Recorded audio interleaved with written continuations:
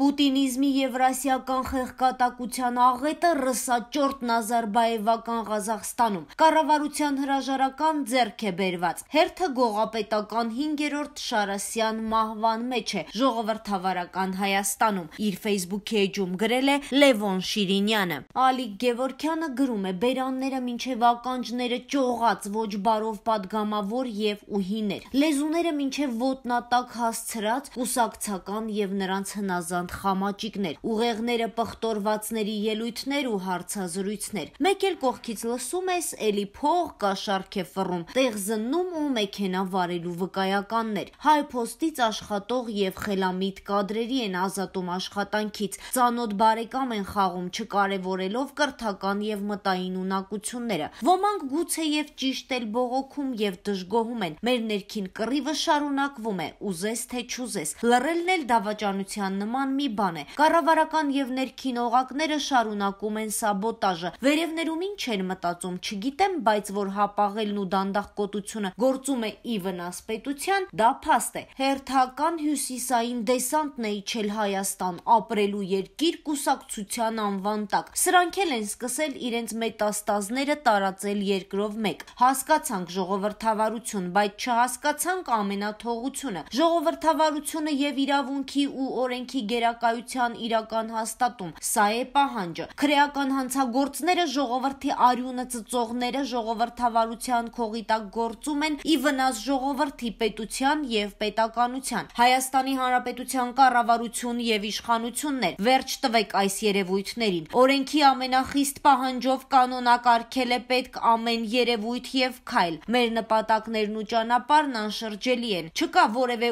ուժ կամ հոսանք, որը կմնա խոչընդոտ մեր ճանապարհին եւ ընտրությանը։ Պողպատյան մանդատն ու օրենքի մուրճն էլ չենք մոռացել։ Բարին բոլորիս հետ։ Մենք ենք տերը մեր երկրի։ Լովա Եղիազարյանը գրում է. «Մեր ռևանշիստներին, նրանց վարձկան քաղաքագետներին, թուլափայ փախցնողներին ողքեվորել են Ղազախստանում տեղի ունեցող դեպքերը։ Սրանք ընդամենը պետք է հասկանան, որ հայ ժողովուրդը իր Նազարբաևներին մերժել ու իր հեղափոխությունը արդեն արել է։ Սրանք չեն հասկանում, որ Ղազախ ժողովուրդը ժողովուրդը ուզում է ազատվել իր քոչասերժական հանցավոր ռեժիմից։ Սրանք չեն ընկալում, որ իրենց մտադրությունները հակահեղափոխական, հակաժողովրդական են եւ ժողովուրդը երբեք չի գնա հակահեղափոխականների հետևից։ Սրանք մշտապես պիտի հիշեն լրագրողի հարցը իրենց շեֆին, թե այդ ինչ էին կարել, որ ժողովուրդը այդքան մեծ արհավիրքից հետո ձեզ ձայն չտվեց։ Իսկ սրանց ստնտուն կմկմաց եւ ոչինչ չպատասխանեց, որովհետեւ իր երկրին բերած արհավիր դիրքը անչափելի է։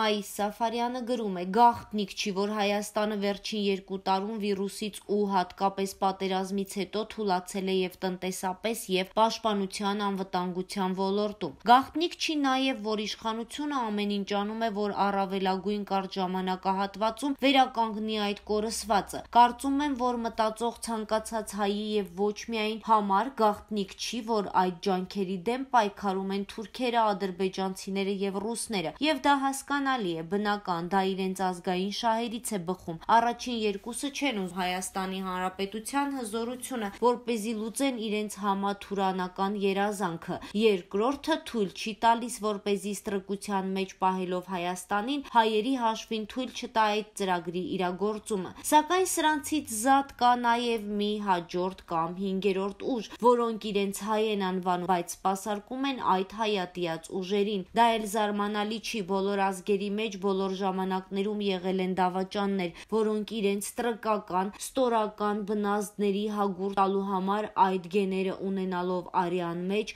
դավաճանել են հայրենիքին, ծնողին, զավակին։ Այստեղ զարմանալին այն է, որ ժամանակին, երբ այդ վասակածին արարածները իրենց մատնիչներին ուղարկում էին Տիզբոն ու Հռոմ, հայոց սահմանների անվտանգությունը ապահովող ուժերը բռնում եւ առանց արքայի թույլտվության աջակցության գլխատում էին դավաճանների լրատուներին, արքային թողնելով գլխավոր դավաճանի գլխատումը։ Իսկ հիմա այդ ստորածին ստրուկներին լրատու պետք չի։ Հրավիրում են մի մամլոասուլիս կամ իրենց թերմացքով սնվող ԶԼՄ-ներով անբարոյական լրագրող համքարության ձեռամբ Մոսկվա ու Անկարա հողում իրենց դավաճանական մատնությունները ու դրա համար ոչ միայն չեն գլխատվում, այլև ազգային ժողովի պատգամավոր են դառնում, մաս կազմելով պետ պետական գաղտնիքների տիրապետման։ Դե ինչքան շատ պետական գաղտնիք վաճառեն, մատնեն, այնքան շատ կվարձատրվեն, եւ դա ոչ մի արձագանք չի ստանում ԱԱԾ-ից։ Դե դեմոկրատիայի խոսքի ազատություն մենք ինչպես միշտ աշխարհում պետք է լինենք առաջինը, լեգիտիմացնելով պետական դավաճանությունը, օրենքով ամրագրել դավաճանի անձեռնմխելիությունը, գլխատել ոչ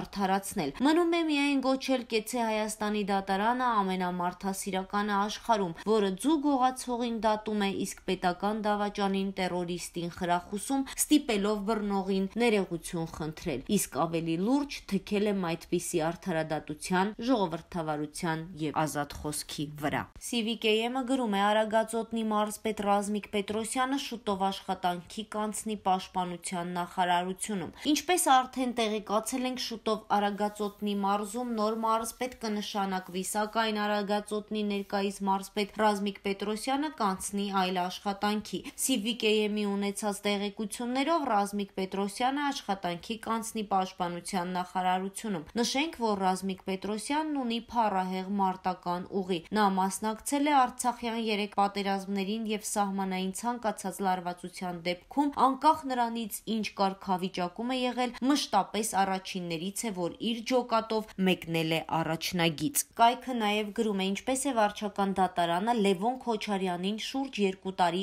օգնում պետբյուջե չվճարել Նաիրի ինշուրանսում պետք հայտնաբերված 1 միլիարդ դրամից ավելի հարկերը։ Պետական եկամուտների կոմիտեն 2019 թվականի փետրվարի 18-ին Ռոբերտ Քոչարյանի ընտանիքին պատկանող Նաիրի ինշուրանս ապահովագրական ՍՊ-ում կատարել է համալիր հարկային ստուգում։ Արդյունքում 2020 թվականի հունվարի 21-ին կազմվել է ստուգման ակտ, որով ընկերությանն առաջադրվել է 1 միլիարդ 87 միլիոն 779 հազար 911 դրամի լրացուցիչ հարկային պարտավորություն։ Ընկերությունը դիմում բողոք է ներկայացրել ՊԵԿ հարկային եւ մաքսային մարմինների բողոքարկման հանձնաժողով, սակայն քննության արդյունքում ՊԵԿ-ի կողմից ընդունվել է դիմում բողոքը մերժելու վերաբերյալ որոշում։ Ընկերության ներկայացուցիչները ՊԵԿ-ի որոշումը վիճարկել են Հայաստանի Հանրապետության վարչական դատարանում։ 2020 թվականի հունիսի 19-ին Նաիրի ինշուրանսի ներկայացուցիչները հայցադիմում են ուղարկում դատարան, խնդրելով անվավեր ճանաչել Հայաստանի Հանրապետության պետական եկամուտների կոմիտեի ստուգումների կազմակերպման եւ դիտարկման վարչության 2101-2020 թվականի թիվ 318-13 ակտի առաջին եւ 25-րդ կետերը եւ Հայաստանի Հանրապետության պետական եկամուտների կոմիտեի հարկային եւ մաքսային մարմինների բողոքարկման հանձնաժողովի 2104-2020 թվականի թիվ 25-16 որոշումը։ Այս մասին կարելի է տեղեկանալ Datalinx դատական տեղեկատվական հարթակից։ Նույն թվականի հունիսի 25-ին դատարանը դատավոր Լիաննա Հակոբյանի նախագահությամբ ընկերության հայցադիմումն ընդունում է վարույթ։ Շուրջ 2 տարի տևող դատական գործընթացը դեռ չի ավարտվել։ Ավելին այս ընթացքում ընդամենը մի քանի դատական նիստ է կայացել։ Դատաքննությունն այժմ դեռ նախնական դատական նիստերի փուլում է։ Ստացվում է, որ ի տարբերություն այլ քաղաքացիների Ռոբերտ Քոչարյանին եւ նրա ընտանիքին առնչվող ոչ միայն քրեական, այլ քաղաքացիական եւ վարչական դատերը եւս ձգձգվում են տարիներով եւ վերջնական հանգուցալուծում չեն ստանում։ Ուշագրավ է, որ պետությունից 1 միլիարդ դրամից ավել հարկեր թաքցնող Լևոն Քոչարյանը չի բացառում Երևանի քաղաքապետի պաշտոնում առաջադրվելու լուրերը, նշելով միայն թե դեռ վաղ է այդ մասին խոսելը։